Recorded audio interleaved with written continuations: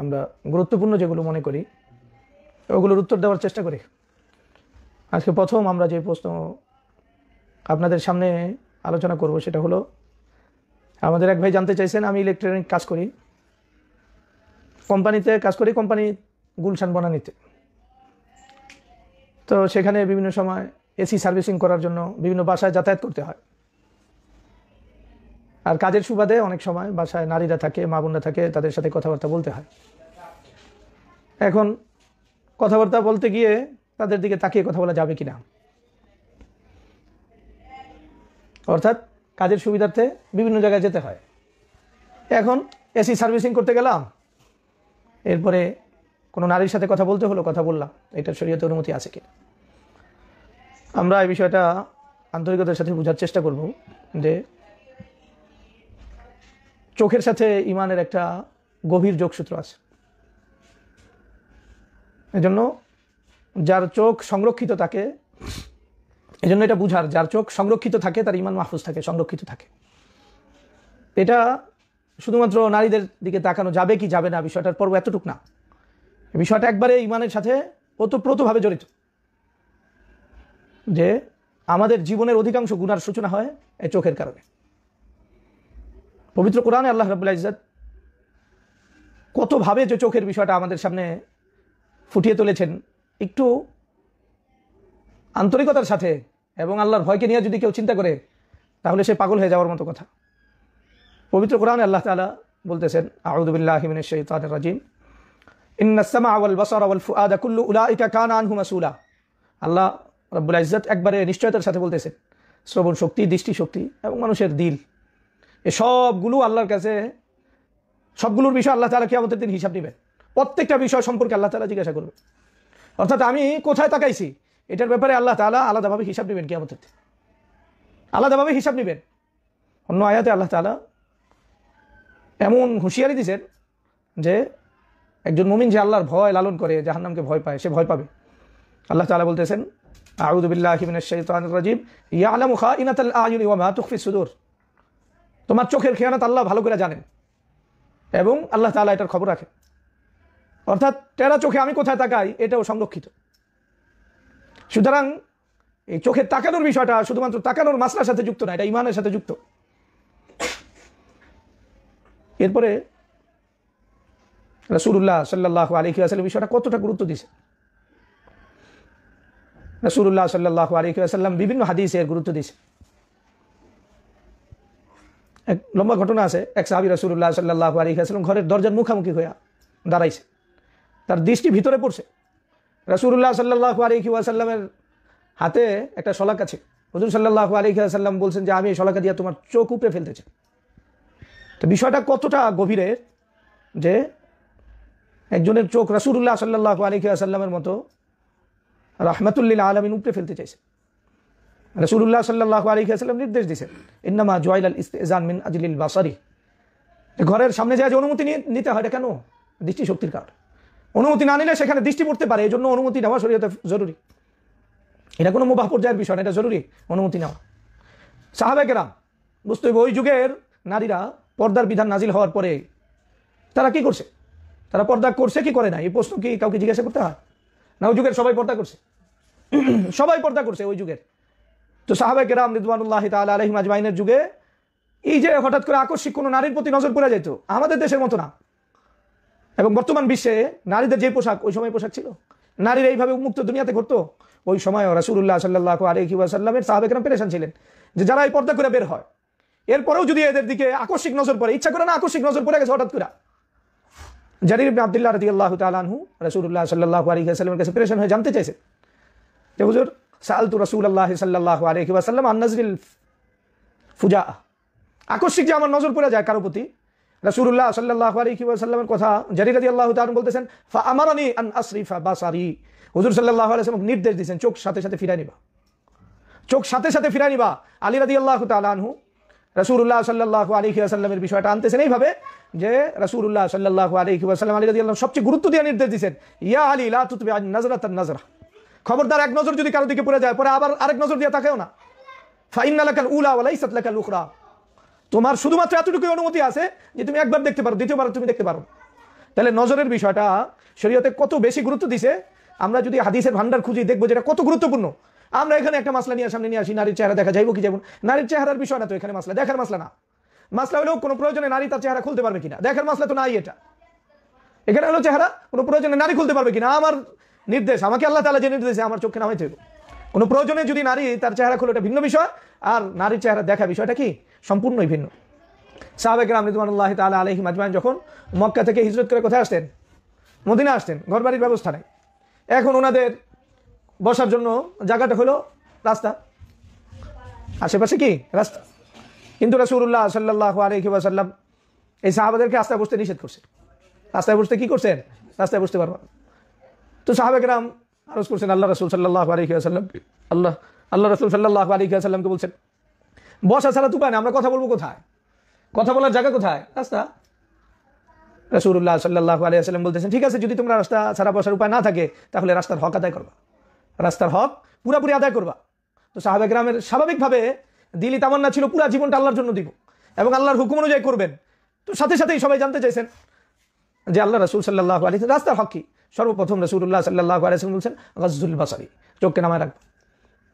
অর্থাৎ রাস্তায় যদি বসো, তুমি তাহলে কি করবা? চোখকে নামায় রাখবা, যদি তোমার বসতে এখন তো আড্ডা হয়ে গেছে রাস্তায়। মানুষ বিয়া করব, চলে যাব রাস্তায়। রাস্তার পাশে বইবে, খানা খাব রাস্তার পাশে বইবে, ঘুরবো। মুসলমান নিজেকে ইসলাম আর মুসলমান মুসলমানরা নিজেদেরকে মুসলমান পরিচয় দেয়। কই যায়? রাস্তায় যায়। রাস্তায় যায়। একবারে রাস্তায় তো যদি নিরুপায় হয়, কেউ বসে তাও কি করব? চোখকে নামায় বসবো, না করব পর নারীর সাথে বসবো। এখন একজন নারী, চোখকে নামানোর মাসলা তো দূরের কথা, একজন পুরুষের। নারী পুরুষের চোখ নামানোর মাসলা। এখন তো আমরা এটা শরীয়তের যে একটা অংশ তো মানুষ জানেই না মনে হয়। অথচ চোখ দিয়া তাকানোর বিষয়টা এতটা গুরুত্বপূর্ণ যে রাসুল্লাহ সাল্লাহ আলী হাসান রাস্তায় যদি বসতেই হয়, তাহলে চোখ নামায় বসতে। চোখ নামানো ছাড়া কেউ বসতে পারবে না। তাকে ওই যুগে, যেই যুগে প্রত্যেক নারী পর্দা করে চলতো, ওই যুগে চোখ নামায় চলতে। আর এই যুগের বিষয়।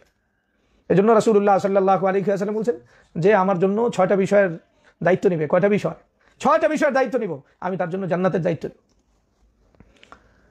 মুস্তাদে আহমদ হাদিস আছে এবং এই হাদিস সহি এর ভিতরে রাসুল্লাহ সাল্লাহ আলী আসাল্লাম বলছেন যে বহুজু আবসারাকু এই ছয়টা বিষয়ের একটা কি? তোমরা তোমাদের চোখে কি করো? নামায় চলো। তাইলে আমি তোমাদের জান্নাতের জিম্মাদার। তার মানে চোখ যদি নষ্ট হয় তাহলে জান্নাত নষ্ট হয়। এই জন্য মুসলিম এবং বোখারির বর্ণনায় চোখ দিয়া তাকানোকে জিনার অন্তর্ভুক্ত করা হয়েছে। এটাকে জিনা বলা হয়েছে। এই জন্য চোখ নষ্ট হলে দিল নষ্ট হয়, হাত নষ্ট হয়, পাও নষ্ট হয়, ঘর নষ্ট হয়, সমাজ নষ্ট হয়, পরিবার নষ্ট হয়। হালকা করে দেখার কোনো সুযোগ নাই। অন্য হাদিসে রাসুল্লাহ সাল্লাহ আলিহাসান বলছেন, তিন চোখ কেমতের দিন সবাই জাহান্নাম দেখব, কিন্তু তিনটা চোখ জাহান্নাম দেখবে না। কেমতের দিন সবাই কি দেখবে? জাহান্নাম দেখবে, কিন্তু এই তিনজনের চোখ জাহান্নাম দেখবে। আইনুন বাকাত মিন খাসিয়াতিল্লাহ যার চোখে আল্লাহর ভয় পানি ছিল। যার চোখে আল্লাহর ভয় কি ছিল? পানি ছিল। ও আইনুন হারাসাত ফি সাবিলিল্লাহ, আর যার চোখ জেগেছিল জিহাদের ময়দানে সীমান্ত পাহারা দিতে গিয়া, সামানা পাহারা দিতে গিয়া তার চোখ কি ছিল? জেগেছিল। ও আইনুন গাজ্জাত আন মাহারিমিল্লাহ। আল্লাহ যেদিকে তাকাইতে নিষেধ করছে, ওদিকে সে তাকায় নাই। যার চোখ নিচে ছিল, কেয়ামতের দিন তার চোখ কি করবে না? জাহান্নাম দেখবে না। আল্লাহ তালা এই চোখ থেকে জাহান্নামকে দূরে সরা রাখবে। এই জন্য সাইদ ইবনে জুবাইর রাদি আল্লাহ তালাহু তার ছেলেদেরকে বলতেন এই কথা, ইয়া বুনাইয়া, ইমশি ওরা আল আসাদি ওয়াল আসবাদ ওয়ালা তামশি ওরা ইমরা তুমি বাঘের পিছনে চলো, আমার কোনো সমস্যা নাই। ভয়ঙ্কর, বিষাক্ত সাপের পিছনে চলো, আমার কোনো সমস্যা নাই। কিন্তু নারীর পিছনে তুমি চলতে পারবা নারীর পিছনে তুমি চলতে পারবা না। বাঘের পিছনে চলো চলো। কারণ এটা তোমার জীবন নিতে পারে। সাপ তোমার জীবন নিতে পারে, কিন্তু তোমার কাছ থেকে জান্নাত নিতে পারে না। কিন্তু নারী তোমার কাছ থেকে কি করতে পারে? জান্নাত নিতে পারে। এই জন্য আমরা শুধু নারীর দিকে তাকানো তো দূরের কথা। নারীর পিছনেও চলার ব্যাপারে এত গুরুত্ব দিছে। ইবনু মাসুদ আল্লাহ তালাহুর ঘরে একজনে দেখা করতে আসছে। ইবনু মাসুদ আল্লাহ তালাহুর সাথে একজন সাক্ষাৎ করতে একজন নারীর দিকে তাকাইছে ঘরের কোনো এক কোণে। ইবনু মাসুদ আল্লাহ তালাহু কইছে, তোমার চোখ যদি উঠে যেত তাহলে এটা ভালো হইতো তোমার তাহলে তাকানের বিষয়টা, এটা মাসলার সাথে আলোচনা করার কোনো যোগসূত্র নাই। এটা যোগসূত্র পুরোপুরি ইমানের সাথে। এই জন্য পবিত্র কোরআনের নির্দেশ, আল্লাহ তালা যারা মোমেন, তাদের ইমানের হেফাজত, তাদের দিলের হেফাজত, তাদের সব কিছুর হেফাজত, চরিত্রের হেফাজত, একজন আদর্শবান আখলা কলা মোমিনের সার্টিফিকেট হলো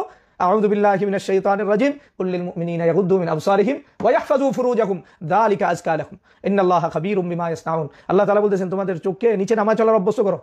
নামাও নিচে, আর নামাইলে তোমার আখলাক পবিত্র হবে। এটা তোমার আখলাক পবিত্র করানোর জন্য সবচেয়ে সেরা। এই পুরা এই আমাদের এই সমাজটার যারা নেককার এদেরকে অসভ্য সমাজে পরিণত করছে চোখ। এই চোখের কারণ। এই যে স্মার্টফোনের যত ফেতনা, দুনিয়ার যত ফেতনা আছে, এই ফেতনার পিছনে কি? এই চোখ। এ চোখ এ চোখ এখন ভালো লাগার বস্তু বানায় দিছে দুনিয়ার যত না যায় কিছু। সাহাবাদের যুগে যে যুগে সবাই পর্দা করে চলতো, ওই যুগে চোখের যদি এত গুরুত্ব থাকে, এই যুগের বিষয়টা কি? ইবনে কাসির রহমতুল্লাহ আলী বেদায় হায়াতে লম্বা চূড়া ঘটনা বয়ন করতে গিয়ে এক লম্বা ঘটনা বয়ন করছেন, আমি সংক্ষেপে বলতেছি। দুইশো সাতাত্তর হিজড়ি ঘটনা। একবারে সবচেয়ে বড় মুজাহিদদের একজনের ঘটনা বয়ান করছে। চিন্তা করতে হবে। এখন তো জেহাদের কথা মানুষ কল্পনাই করতে পারে না। জেহাদে যাওয়ার স্বপ্ন তো কারও দিলের ভিতরে নাই। কোনো বাবা মা সন্তানকে জেহাদে পাঠাইবো? এক তো আমাদের সামনে ক্ষেত্র কোথায় পাঠাবো? এই ক্ষেত্র তো আমরা জানি না। দ্বিতীয় হলো যে স্বপ্নও নাই পিতামাতা, যে পিতামাতা কাউরে কি করব? জেহাদের ময়দানে পাঠাবো স্বপ্নই নাই। যাই হোক, জেহাদের ক্ষেত্রে সে অনেক বড় মুজাহিদ। দুইশো সাতাত্তর হিজড়ি ঘটনা বয়ান করতে গিয়া আবদা ইবনে আব্দুর রাহিমের লম্বা চূড়া ঘটনা বয়ান করছে। ঘটনা কি? অনেক বড় মুজাহিদ ছিল, সবাই তার কথা আলোচনা করতো। তো পারস্যের, আফওয়ান, পারস্য না, রুমে একটা অঞ্চল যুদ্ধ করার জন্য মুসলমানরা যখন গেছে, তো যাওয়ার পরে মুসলমানরা একটা দুর্গকে অবরোধ করছে। অবরোধ করার পরে ওই দুর্গের ভিতরে রোমের কিছু রমণীরা অপেক্ষা করতেছে। হঠাৎ ওই নারীর প্রতি তার নজর পড়ছে, আর সে তার নজরকে কন্ট্রোল করে নেয় ধীরে ধীরে ওই নারীর প্রতি তার আসক্তি জন্মা গেছে, এবং সে এটা চেষ্টা করছে যে ওই নারীকে কি করে আপন করতে পারে। একটা সময় ওই নারীর পিছনেই তার জীবন গেছে, সে ইসাই অর্থাৎ খ্রিস্টবাদকে গ্রহণ করে ওই নারীর পিছনে করছে জীবনের সব কুরবানি শেষ হয়ে গেছে শুধু এক চোখের কারণে। চোখকে সে সংরক্ষণ করতে পারে না। আমাদেরও তাহাজুত আমল আখ লাখ সব চলে যায় কোন জায়গা এই চোখের সমস্যার কারণে। এবং সে পবিত্র কোরআন অনেক ভালো করে জানতো। কিন্তু তার সাথীরা কষ্ট পাইয়াও জিজ্ঞাসা করতো আশেপাশে যা জিজ্ঞাসা করতো, তোমার আমল, তোমার জেহাদ, তোমার নামাজ এগুলো কি? তোমার কোরআনের অবস্থা কি? আমি সব ভুলে গেছি। শুধুমাত্র কোরআনের একটা আয়াত মাঝে মাঝে আমার দিলের ভিতরে আসে, রুবামা ইয়াবদ্দুল্লাদিন কাফারু লাউকানু মুসলিমিন। কেমতের ভয়াবহ মুহূর্তে আল্লাহ তালা কাফেরদের কি অবস্থা ওটা বর্ণনা দিয়েছেন। যে সময় কাফেররা এটা বারবার তামান্না করবে, যদি আমরা মুসলমান হইতাম। আমরা যদি কি হইতাম? আমার দিলের ভিতরে, বাস এই আয়াতটার কথা মনে আছে। রুবামা ইয়াবদ্দুল্লাদিন কাফারু লাউ কানু মুসলিমিন। আমি যদি মুসলমান হইতে পারতাম, এটা মাঝে মাঝে দিলের ভিতরে আসে। যারা দুনিয়া নিয়ে পড়ে যেতে চায়, দিনকে গ্রহণ করতে পারে না। শুধু দিলের ভিতরে আসা যাক, আমাদের দিলে এমন বহু লোক আছে। কজুর নামাজ পড়তে তো মন চায়। আল্লাহ আল্লাহ হইতে তো মন চায়, কিন্তু আল্লাহ তালা বলতেছেন যাদের শুধু মন চায়, আল্লাহর কাছে আসে না। আল্লাহ যার হুম ইয়াকুলু ওয়াতামাত্তা ওয়াইল হিহিমুল আমাল ফাসাউফা ইয়ালাম ছেড়ে দাও যা মন চায় তাই করুক। খাইতে থাকো কি করতে থাকো ওদের আশা আকাঙ্ক্ষা, ওদেরকে কি করবে? পুরাপুরি গাফিল বানাতে আখিরাতের ব্যাপারে কি? এই স্বপ্ন এই স্বপ্ন ওদেরকে দুনিয়া থেকে সরাই দেবে। আল্লাহ তালা আমাদের বুঝার তৌফিক দান করুক। এই জন্য সবচেয়ে বড় বিষয় হলো যে একজন মমিন এই যুগে, বিশেষ করে সবচেয়ে বড় ফেতনা হলো চোখ। চোখকে হেফাজত করবে। এর জন্য যদি স্মার্টফোন ছাড়তে ছাড়তে হবে। বাইরে যাওয়া ছাড়তে হলে ছাড়তে হবে জরুরত ছাড়া বাইরে যাবে না সে। তার তাহাজুদ নষ্ট হয়ে যাব, তার নামাজ নষ্ট হয়ে যাব, তার ইমান নষ্ট হয়ে যাব, দিন নষ্ট হয়ে যাব, তার চরিত্র নষ্ট হয়ে যাবে, সবকিছু কিসের সাথে? সাহাবাদের সাথে এই বিষয় থাকে, আমাদের সাথে এই বিষয়টা মনে রাখতে জন্য একজন মমিন এই প্রশ্ন করব না যে একজন নারীর সাথে আমি দেখে দেখে কথা বলতে পারব কিনা? একজন সাথে আপনি দেখে দেখে বলতে পারবেন কিনা? এই আলোচনা আপনাকে কি বলে? আপনি বাঘের সামনে বসে থাকেন, সাপের সামনে বসে থাকেন নারীর সামনে বসে কথা বলে। জরুরত যদি পড়ে, তাহলে জরুরতে পুরোপুরি আল্লাহর ভয় নিয়ে যতটুকু বলতে পারেন ততটুকু বলবে। এর বাইরে কথা বলার শরীয়ত অনুমতি নাই, তাকানো তো দূরের কথা। মাসলা মানুষ ছড়াই দিছে যে নারীর পর্দা কি পর্দা? নারীর চেহারা খোলা রাখা যাবে কি যাবে এটা ভিন্ন বিষয়। এটা যদি পর্দারই অন্তর্ভুক্ত না হয়, খোলা রাখা যদি মুক্ত বিষয়, যে কেউ দেখতে পারে বিষয় হয়, তাহলে বিবাহ করতে গেলে শুধুমাত্র এতটুকু একবার দেখার অনুমতির বিষয়টা কোথেকে আসে? যদি ওপেনে আমি সবাই দেখা করতে পারি, তাহলে আর বিয়ার বিয়ার সময় শুধু চেহারা দেখার মাসলা আশা করছে তার মানে বিষয়টা ছিল এতটুকু যে প্রয়োজনের খাতিরে নারী তার চেহারাকে খুলতে পারবে কি নারী খোলা আর পর্দা দুটি এক জিনিস। দ্বিতীয় বিষয়, আল্লাহ তালা আমাদের বুঝার তৌফিক দান করে এই জন্য আমাদের প্রতিজ্ঞা হোক আল্লাহ তালা যেন আমাদের নজরকে হেফাজত করে। যেখানে নিষিদ্ধ ওই জায়গা আমরা নজর দিব না। স্মার্টফোনেও না, ঘরেও না, ঘরের বাইরেও না, কোনোভাবে না।